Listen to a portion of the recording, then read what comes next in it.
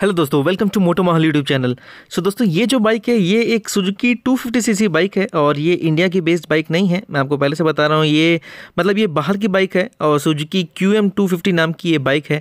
और मैं आपको बताना चाहता हूँ कि इस बाइक को मॉडिफाई किया जैकॉब गराज ने, जो कि इंडिया में बेस्ड नहीं है। पर यह वीडियो मैं आप सभी को इसलिए दिखा चाहता हूँ ताकि आप लोग भी इस वीडियो से अपना डिज़ाइन सोच सकते हैं, क्योंकि एक ढाई सौ सी वाली बाइक है। तो आप लोग सेम स्टाइल की सेम डिज़ाइन की बाइक आप लोग इंडिया में भी या अपने बाइक के ऊपर एक्सपेरिमेंट करके इस तरह का बाइक भी कस्टमाइज कर सकते हैं। तो ये बेसिकली आप सभी लोग के लिए एक इंस्पिरेशनल वीडियो होने वाला है कि किस तरह से आप लोग भी अपनी बाइक को डिज़ाइन कर सकते हैं। सो अब आते हैं इस बाइक के ऊपर से। जैसे मैंने बताया कि ये एक सुजुकी टू फिफ्टी बाइक है, जिसको यहाँ पे एक स्क्रैमलर के स्टाइल में मॉडिफाई किया, जैसे देख सकते हैं, काफ़ी बेहतरीन लुक है इस मोटरसाइकिल का। और मैं बताना चाहता हूँ, इस मोटरसाइकिल में लगभग लग सारी चीज़ यहाँ पे चेंज हो चुकी है, जैसे इसका फ्यूल टैंक देख रहे हैं काफ़ी बड़ा फ्यूल टैंक है। और आप लोग देख सकते हैं, इस गाड़ी का जो मैक्सिमम एरिया वो इसका फ्यूल टैंक ही है, क्योंकि काफ़ी लंबाई में बड़ा है, काफ़ी चौड़ा भी यहाँ पे फ्यूल टैंक देखने में लग रहा है। उसके साथ साथ यहाँ पे आप लोग जो टायर्स देख रहे हैं, ये दोनों ही ऑफ़ रोडिंग डुअल स्पोर्ट्स के टायर हैं, जो कि यहाँ पे चेंज किए गए हैं। और देख सकते हैं, उनका लुक्स भी बहुत ज़्यादा अच्छा आता है। और स्पेशली अगर आप लोग ट्रैकर या स्क्रैमर की बाइक्स कस्टमाइज़ करते हैं तो आप लोग डेफिनेटली इस तरह का टायर्स का इस्तेमाल ज़रूर करिएगा, क्योंकि ये लुक में बहुत ज़्यादा अमेजिंग लगता है।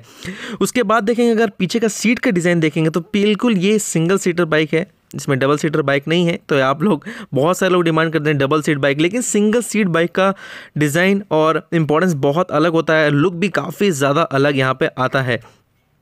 उसके अलावा आप लोग यहाँ पे एग्जॉस्ट सिस्टम देखिए, किस तरह से इन्होंने जो पीछे का फ्रेम है, उसके जस्ट सीट के नीचे इस एग्जॉस्ट को प्लेस किया है, जो कि काफ़ी ज़्यादा कूल लगा, मुझे काफ़ी ज़्यादा पसंद आया स्पेशली उसका डिज़ाइन किस तरह से उन्होंने पूरा इंजन के बीचों बीच लेके इस जो एग्जॉस्ट को कनेक्ट किया, आप लोग देख सकते हैं, उसका डिज़ाइनिंग किस तरह से की गई ऊपर से यहाँ पर थर्मल रैप भी इस बाइक को किया गया है। फ्रंट की आप लोग हेडलाइट देखिए, ये भी काफ़ी ज़्यादा लाजवाब हेडलाइट है, काफ़ी खूबसूरत लगती है इस तरह की हेडलाइट्स और इंडिया में शायद आपको इस तरह की लाइट्स नहीं मिलती, अगर मुझे मिलेंगी तो मैं डेफिनेटली इन सब की जो लिंक्स होगी वो मैं अपने डिस्क्रिप्शन में दे दूँगा, ताकि आप लोग यहाँ पे जितने भी प्रोडक्ट्स देख रहे हैं, वो सब कुछ यहाँ पे आप लोग प्रॉपर ढंग से परचेस कर पाएँ।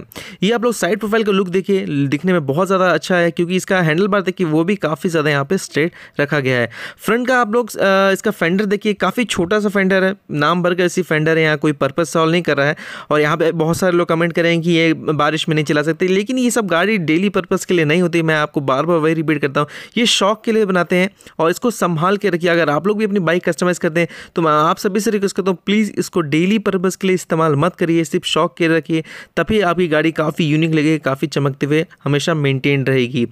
उसके अलावा यहाँ पे एक और चीज़ देखने वाली है, वो इसका कलर देखिए, यहाँ पे ग्रीन एंड ब्लैक कलर का कॉम्बिनेशन किया है। बिल्कुल ही मैट फिनिश है, काफ़ी शाइन नहीं है, देख सकते देख सकते हैं इसका फ्यूल टैंक में डिज़ाइन बिल्कुल प्लेन ग्रीन है, बाकी नीचे वाला पोर्शन टोटली यहाँ पे ब्लैक आउट कर दिया गया है। और फ्रंट में आप लोग इसका जो स्पीडोमीटर कंसोल देखिए, बिल्कुल हेडलाइट के ऊपर में यहाँ पे प्लेस किया गया है। सो दोस्तों अभी मैं आप लोग आप सभी लोग सोच रहे होंगे, इसका एग्जॉस्ट साउंड किस तरह का है तो मैं आप सभी को इसका एग्जॉस्ट साउंड भी सुनाऊँगा। तो आप लोग प्लीज़ इस वीडियो के साथ बने रहे क्योंकि लास्ट में इसका एग्जॉस्ट साउंड वाला वीडियो भी है, जो कि काफ़ी ज़्यादा मस्त यहाँ पे वीडियो दिया गया है। इसका एग्जॉस्ट भी बहुत ज़्यादा अच्छा है, और आप लोग इसका इग्निशन की देख सकते हैं। इग्निशन की का जो प्लेसमेंट है, वो अब जाके यहाँ पर नीचे हो गया है। और कैसा लग रहा है आपको ये कस्टमाइजेशन एक सुजुकी 250 सीसी बाइक पे? प्लीज़ आप लोग मुझे कमेंट सेक्शन में ज़रूर बताएगा क्योंकि काफ़ी ज़्यादा मेहनत से ये बाइक बनी है और जैकॉब गैराज ने काफ़ी ज़्यादा अच्छा यहाँ पे वर्क किया है और आप सभी का फीडबैक यहाँ पे बहुत ज़्यादा इंपॉर्टेंट है। तो प्लीज़ रिक्वेस्ट करता हूँ आप सभी से कि प्लीज़ इस बाइक का फीडबैक देना मत भूलिएगा। और अभी आप लोग इस वीडियो को एग्जॉस्ट साउंड इन्जॉय करिए और आप लोग प्लीज़ कमेंट सेक्शन में ज़रूर बताएगा कैसी लगी आपको ये मॉडिफाइड सुजुकी टू फिफ्टी